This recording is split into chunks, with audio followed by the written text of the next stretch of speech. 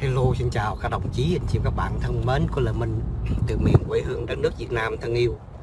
Hôm nay Lệ Minh sẽ cập nhật những thông tin uh, cuộc chiến Nga Ukraine để các bạn nắm rõ được cái tình hình trên cái không gian mạng nó đưa rất là nhiều tin uh, gọi là tin giả mạo fake news có nhiều anh em uh, inbox hỏi tôi thấy rất là hoang mang sao mà tình hình chiến sự Nga Ukraine uh, Nga bị uh, bị, bị máy bay Nga bắn rơi như là chim rụng tôi nói anh chị các bạn trên ngoài cái chiến trường của Nga và Ukraine hiện nay đó tụi phương Tây nó và Mỹ nó nó đưa những cái truyền thông rất là xảo trái và biệt bợm. Nó đưa toàn là giống như là Mỹ và, và Ukraine phương Tây là đang nắm nắm vững cái tình hình à, là Nga là đang gặp khó khăn thế này thế nọ toàn là xạo không. Ngay cả các bạn thấy những cái pháo đài mà bắn hạ mà máy bay của Nga đồ cũng vậy. Tôi nói chị các bạn những cái vũ khí tài mà bí mật quân sự đó. Khi mà nó tác chiến ở ngoài ở ngoài mà mà mà mặt trận đó à, mà nó quay nó đưa ra những cái những cái gì vị trí của những cái mà phòng không á, bắn máy bay nga rồi. Tôi nói mà những cái hình ảnh đó nó cắt ghép từ những cái nó thí nghiệm á nó thí nghiệm từ những cái chiếc máy bay mà không người lái, rồi nó làm giống. Rồi các bạn nhiều người tưởng là thật. Chứ mặt trận mà nga đang tấn công hiện nay, các bạn biết, về số người mà bên Ukraine mà mà bị ờ, lính Ukraine thiệt mạng, tụi phương Tây và Mỹ, đồ nó vậy. Nó nó nó nó nó bị bợm, nó không có đưa ra. Tôi nói chỉ mà số lượng mà người chết từ 30 đến 50 ngàn người, chứ không phải là ít, bên lính Nga. Ờ, Ở bên xin lỗi, lính của Ukraine và trong khi đó nó cứ đưa là là mà Nga chết 15 ngàn người 10 ngàn người.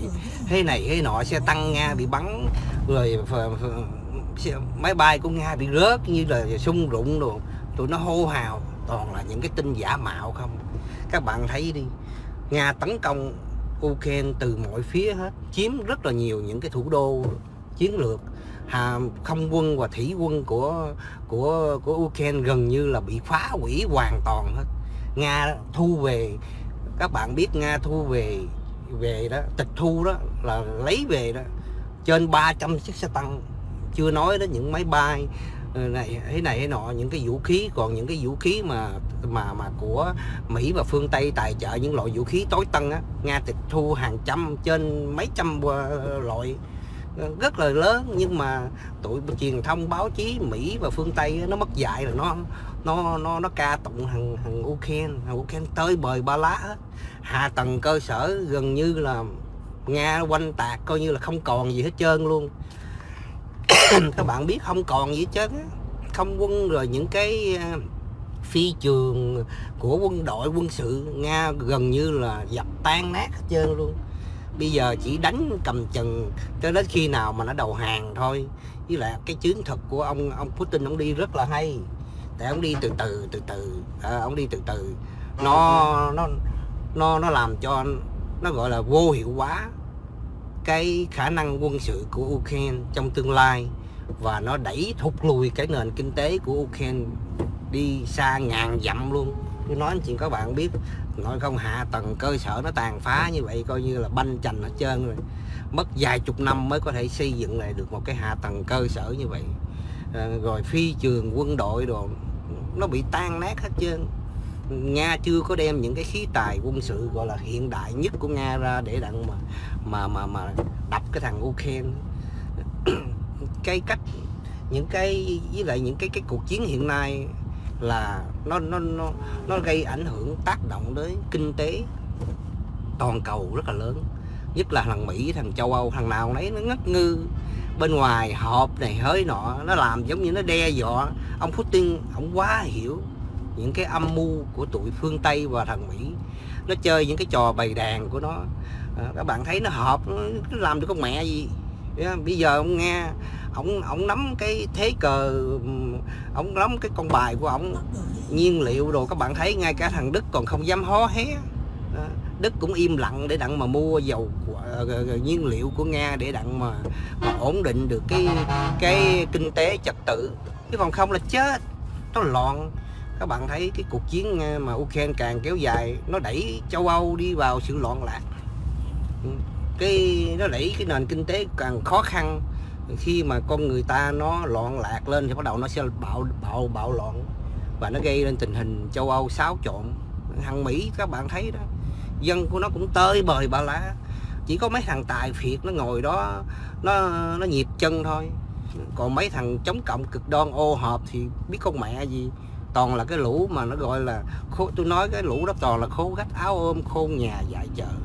Lên mạng ngồi đó nó ca tụng Mỹ ca tụng phương Tây mà các bạn thấy, cuộc chiến hiện nay đó, Mỹ gánh nặng trên đôi vai người dân người dân Mỹ phải gánh nặng những cái món nợ. Ờ, tiền đâu phải là hàng Mỹ nó có dư có thừa đâu các bạn. Thâm thủng mậu dịch khắp mọi nơi hết. Ờ, vật vá, vật giá leo thang, ầm ầm, ào ào. Kinh tế khó khăn trăm bề. Ờ, dân khổ lên khổ xuống mà nó cứ ở ngoài nó cứ làm ra vẻ giống như nó là đàn anh đại ca rồi à, ờ, các bạn thấy dân châu Âu rồi cũng vậy. Mấy thằng họp rồi cứ ờ, đe dọa ờ, đe dọa Nga. Cái cuộc chiến này các bạn thấy nó sẽ tạo nên cái sức mạnh của Nga. Những người hưởng lợi hiện nay là ai? Trung Quốc với lại Ấn Độ. Và những cái quốc gia mà các bạn thấy họ cần nhiên liệu của của Nga mà họ không có gây hấn gì với Nga. Ấn Độ mua mua dầu mua nhiên liệu rẻ hơn 20% quá đã luôn. Ông Trung Quốc cũng vậy. Những cái quốc gia nào mà có sự thân thiện với Nga trong cái công việc mà đối tác kinh tế được ưu đãi cái tàn tàn họ sống các bạn thấy không? Peru Ấn Độ người ta một tỷ mấy dân người ta khôn khéo. Đấy, còn những cái quốc gia mà nó theo Mỹ và phương Tây chèn đất ơi các bạn. Không có coi thời sự tin tức nước ngoài chứ. Nó nó khủng khiếp lắm. Chỉ có những cái tin tức ở trên không gian mạng Facebook đưa rồi dân mình cập nhật không có không có đầy đủ hết rồi mình quan mang mình sợ hãi thôi chứ. Còn mà cái những cái tin tức đó tôi vào trong những cái trang uh, Yahoo tổng hợp đồ các bạn thấy. Tụi Mỹ tụi nước ngoài nó coi nó ngồi nó cười ngất. Tại vì cái đó là toàn là xạo không à. Tại vì những người mà người ta hiểu biết á những cái những cái hệ thống phòng không đồ bắn dầm dầm dầm dầm dầm rồi đưa lên mạng rồi máy bay rớt y đùng đồ này nọ. Toàn là xạo không. Nó, nó những cái cái những cái mà về chiến lược quân sự rồi các bạn biết nó đâu có đưa ra ngoài ngoài mạng mà cho người ta xem như vậy. Nó nguy hiểm. Ừ, phòng không mà ờ, cái y như các bạn coi như mấy như mà các bạn chưa có chiến tranh xảy ra đó các bạn mà theo dõi các bạn sẽ thấy những cái cuộc mà nó thử nghiệm đó nó nó quay y như vậy đó. Thời buổi giờ mà công nghệ uh, công nghệ mà hiện đại về vấn đề mà vi tính đồ điện tử rồi nó làm đủ trò đủ kiểu. Ờ, cho nên ờ, cẩn thận anh chị các bạn mấy cái thành phần chống cộng ô hợp ở bên Mỹ này ở hải ngoại này tụi nó toàn là đám đầu đất không à nó nó nó nó tưởng tượng nó sống trong cái sự ảo tưởng. Chứ hiện nay nga đang đang ở một cái vị trí rất là hay. Cái cách đề đề hành quân và và tiến quân của họ, họ cứ từ từ thôi họ đâu có phải vội vã đâu. Họ đâu phải đánh xong rồi đi về đâu.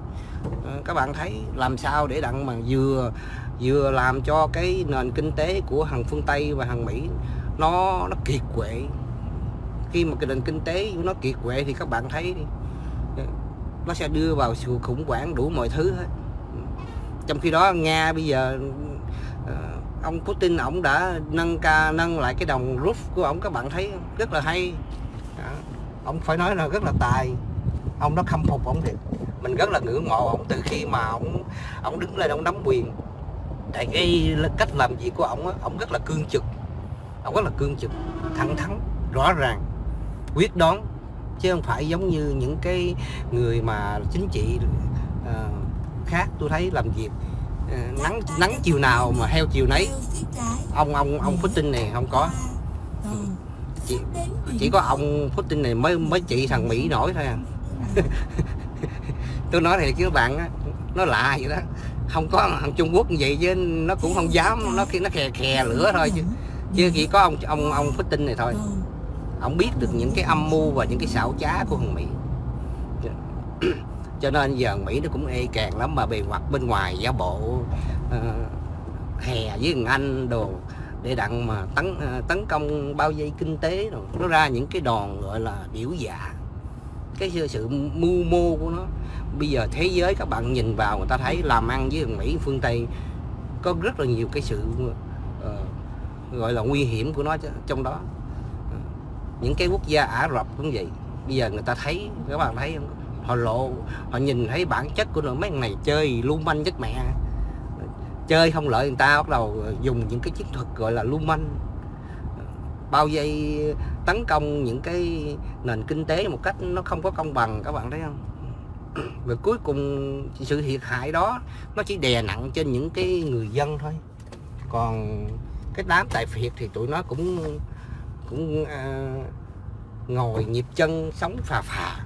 Bởi vì còn cái đám mà nó cuồng phương Tây thì Mỹ thì các bạn thấy những thành phần đó toàn là toàn là gọi là đuôi mù à, bệnh hoạn ăn tiền trợ cấp xã hội. Rồi nó ngồi đó nó ăn ở không rồi nó xuyên tạc nó chống phá. Chứ nó có hiểu biết chút gì đâu. Các bạn thấy nghe là uh, nga nga bị tử trận 10 ngàn 15 ngàn thì các bạn nghĩ đi. Trong khi đó những cái tử trận bên bên tụi Ukraine tới ba chục, năm chục ngàn, đâu phải là ít đâu quân lính. Những cái khu vực chiến lược của của bên Ukraine bị bị Nga quanh tạc, các bạn thấy những cái vùng quân sự, Nga nó quýnh mấy người đó tơi bời ba lá luôn. Mà nó đâu đai mà quay mà được đưa ra nói nhiều đâu. Tại vì mấy cái thằng truyền thông nó nói theo chiều của nó mà nó nói ngược chiều lại thì nó không có được trả lương. Ờ, cho nên các bạn tìm hiểu tin tức truyền thông vậy mình phải mình phải chịu khó nghiên cứu đi tìm những cái nguồn chính thống để người ta chia sẻ nó cặn kẽ hơn người ta giải thích cho mình nghe nó nó rõ ràng đâu ở đó. Chứ còn không thì trên mạng chàng ơi bây giờ các bạn biết cái thật thật giả giả nó nó lừa người ta ghê gớm lắm cái thời kỳ công nghệ 4.0 bữa nay 5.0 rồi. Nó nó vô cùng xảo quyệt. Con người ta ở trên cái không gian mạng này nó khủng khiếp lắm. Nhất là thời buổi bây giờ truyền thông nữa. Truyền thông bây giờ nó là con dao hai lưỡi nó ghê lắm. Cái tội phương tây này sau cái vụ cuộc chiến này tôi nói với bạn nó sẽ tạo ra một cái sân chơi của cái nền kinh tế Ờ, trong tương lai nó công bằng hơn, chứ không phải chơi theo kiểu lưu manh giống như ông Mỹ này. Ờ, bây giờ đồng đồng đồng rút đồng ờ, đồng tiền của của chơi Trung Quốc, bắt đầu họ có những cái thế mạnh. Đó. họ có thế mạnh, trong tương lai những cái quốc gia người ta giao dịch làm ăn đó, người ta sẽ tự chủ hơn, người ta sẽ dùng những cái đồng tiền của họ ngoại tiền tiền của họ để họ giao dịch với nhau và họ quán đổi với nhau nó nó nó nó nó bảo đảm hơn. Thay vì phải ngồi đó trông chờ vào sử dụng cái đồng tiền ngoại tệ, đồng tiền dự trữ đô la. Các bạn thấy đụng cái là nó nó siết. Chơi gì không có công bằng các bạn thấy không? Thôi thì mình like tới đây ờ, cập nhật thông tin để anh chị các bạn thấy và hiểu rõ cái tình hình ờ, chiến sự nga ukraine xin chào anh chị các bạn trong diễn đàn nha. Bye bye bye bye bye bye.